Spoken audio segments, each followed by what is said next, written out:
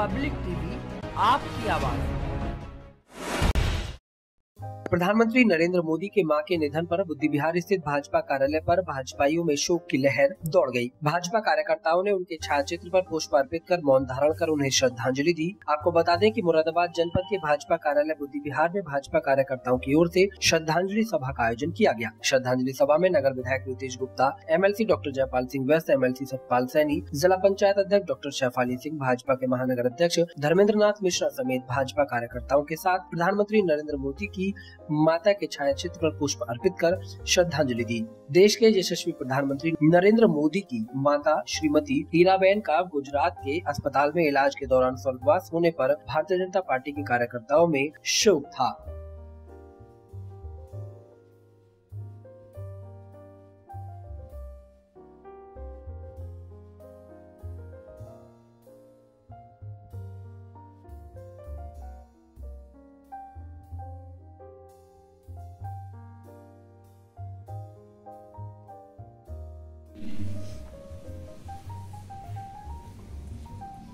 आज हम सभी को नहीं, पूरे देश को। जब जब देश के यशस्वी प्रधानमंत्री जी को बड़ा संकल्प लेना होता था, नेक इरादे से जब वो माँ के पास जाते थे तो निश्चित रूप से वहाँ से हम सबने देखा होगा कि वहाँ से निकलते थे। तो जब मैं सांसद था तो एक आध बार सांसदों के बीच में उन्होंने चर्चा करी वो ऊर्जा से बिल्कुल ओतप्रोत होते थे। क्योंकि माँ की कोई सामान्य महिला नहीं थी। एक हमारे साथी सांसद थे, गुजरात से। और गुजरात में मोदी जी के साथ वो प्रदेश मंत्रिमंडल में भी रहे थे। वो एक बार बता रहे थे हमसे मोदी जी जब दूसरी बार मुख्यमंत्री बने थे बहर भी थे, मोदी जी की माँ ने कहा था कि मेरा बेटा, मुख्यमंत्री तो बनेगा ही। लेकिन आगे प्रधानमंत्री भी बनेगा ही, और ये मैं आत्मा से चली देश के ऐसे सपूत जिन्होंने दुनिया में अपने देश के वैभव को, गौरव को, मान को, स्वाभिमान को, सम्मान को बढ़ाया, इस लायक अगर बने तो सौ फ़ीसदी आशीर्वाद उनकी माँ का स्वीकार है। बीच बीच में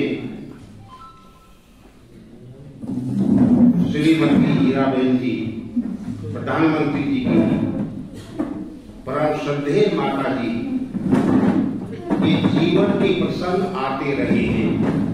माननीय प्रधानमंत्री जी भी अपने मुखार बिंद से अपने माता जी